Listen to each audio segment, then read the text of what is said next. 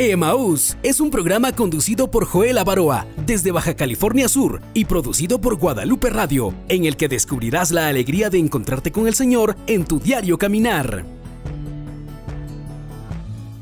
Dato curioso, ya no se hace oración en la mayoría de las familias, ya no se bendicen los alimentos, ya no se dice gracias Señor por tu providencia. Antes así funcionaba, ya no porque el diablo, repito, ha metido su cuchara. Yo te invito para que este próximo jueves usted, amada hermana, amado hermano, no tenga miedo y ahí en su lugar, en su casa, usted haga un altar para el Señor al momento de la comida. Amén. Amén. Seamos agradecidos. Y el día de hoy, hablando de agradecimiento, nos vamos a ir a un texto maravilloso, uno de mis libros favoritos del Antiguo Testamento, el libro del profeta Daniel. Daniel capítulo 6. Nos interesa el versículo 10. Vamos a empezar desde el versículo 2, pero nos interesa el 10. ¿Ya están listos? Daniel capítulo 6, versículo del 2 en adelante. Nos interesa el 10. Versículo 2. Darío consideró oportuno, bueno, Darío era el reino, Darío consideró oportuno poner al frente del reino a 120 sátrapas distribuidos por todo el reino. 3. Y establecer sobre ellos a tres ministros, entre los cuales estaba Daniel, a quienes esos sátrapas debían rendir cuenta, a fin de que no se atentara contra los intereses del rey. 4. Ahora bien, este Daniel sobresalía entre los ministros y sátrapas, porque había en él un espíritu superior, y el rey pensaba ponerlo al frente de todo el reino. 5. Por eso, los ministros y los sátrapas trataron de encontrar un pretexto para acusar a Daniel en lo referente a los asuntos del reino, pero no pudieron encontrar ningún pretexto ni ninguna falta, porque Daniel era fiel y no se le descubrió ninguna negligencia ni ninguna falta. 6. Estos hombres dijeron, no encontramos ningún motivo de acusación contra Daniel, sino es la ley de su Dios. 7. Los ministros y los sátrapas acudieron precipitadamente al rey y le hablaron así, vive eternamente el rey Darío. 8. Todos los ministros del rey, los prefectos y los sátrapas, los familiares y los gobernadores se han puesto de acuerdo para que el rey promulgue un edicto y ponga en vigencia una prohibición a saber, todo el que dentro de los próximos 30 días dirija una plegaria a cualquier dios u hombre que no seas tú, rey, será arrojado al foso de los leones. 9. Por lo tanto, el rey promulgó la prohibición y consignada por escrito para que no sea modificada conforme a la ley de los medos y de los persas, que es irrevocable. Aquí ve el 10 que nos interesa. A causa de esto, el rey Darío puso por escrito la prohibición. 11. Cuando Daniel supo que el documento había sido firmado, ahí va, ¿listos? Entró en su casa esta tenía en el piso superior unas ventanas que se abrían en dirección a Jerusalén, y tres veces por día él se ponía de rodillas, invocando y alabando a su Dios, como lo había hecho antes. 12. Aquellos hombres acudieron precipitadamente y encontraron a Daniel orando y suplicando a su Dios. 13. Entonces se presentaron ante el rey y refiriéndose a la prohibición real le dijeron, ¿acaso no has escrito una prohibición según cual todo el que dirige una oración dentro de los próximos treinta días a cualquier dios u hombre que no seas tú rey debe ser arrojado al foso de los demonios? El rey tomó la palabra y dijo así, así es, en efecto, según la ley de los medos y de los persas que es irrevocable. 14.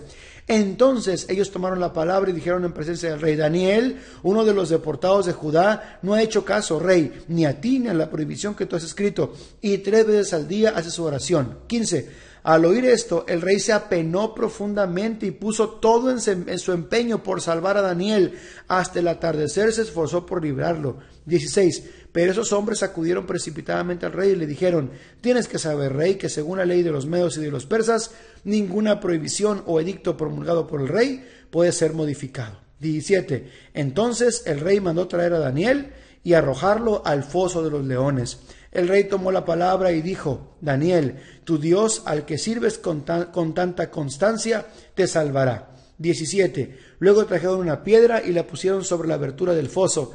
El rey la selló con su anillo y con el anillo de sus dignatarios para que no se cambiara nada en lo concerniente a Daniel. Palabra de Dios.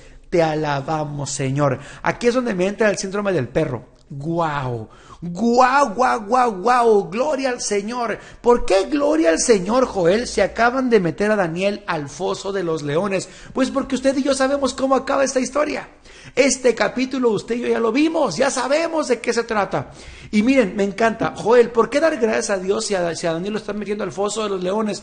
Porque Daniel sabe perfectamente que su Dios es todopoderoso y que su Dios lo va a librar. Si seguimos la lectura, usted va a, darse cuenta que los leones estaban hambrientos, los habían dejado varios días sin comer para que en cuanto entrara el preso se lo devoraran. Pero cuando entra Daniel, dice la palabra de Dios, los leones no le hicieron ni un solo rasguño. A los leones no, no, les interesó comerse a Daniel porque el poder de Dios lo protegió. Seamos agradecidos, es el tema del día de hoy. Usted y yo, amada hermana, amado hermano, tenemos que ser hombres agradecidos incluso por los problemas, por las situaciones complicadas de la vida. Joel, pero ¿cómo voy a darle gracias a Dios por esta enfermedad? ¿Cómo voy a darle gracias a Dios por este problema? ¿Cómo voy a darle gracias a Dios porque mi yerno trata mal a mi hija? ¿Cómo voy a darle gracias a Dios por, porque mi hijo entró a las drogas? Joel, ¿cómo voy a darle? Porque usted se está enfocando en el problema, pero no se está enfocando en Dios.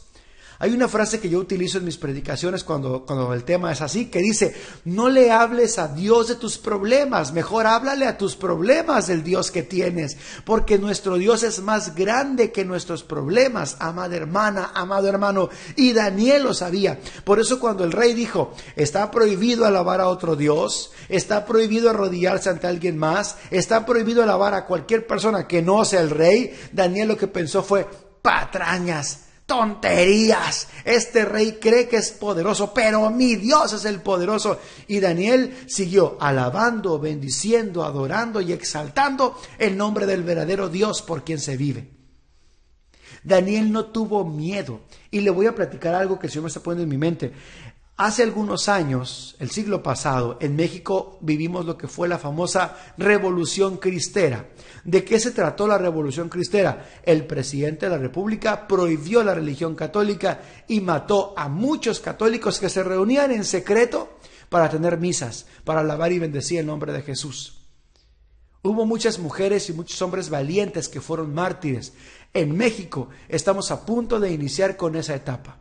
Tenemos un gobierno de izquierda que está acabando con la familia, está promoviendo el aborto. En Estados Unidos, tristemente, hay un presidente católico que está promoviendo el aborto.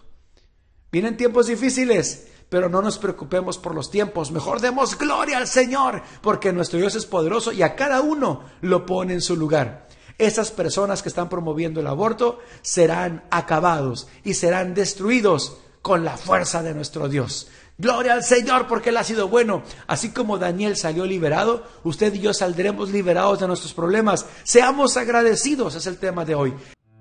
Para disfrutar de este programa completo, te invitamos a que descargues la aplicación de Guadalupe Radio, te registres gratuitamente y descubras este y muchos programas más que seguramente te bendecirán.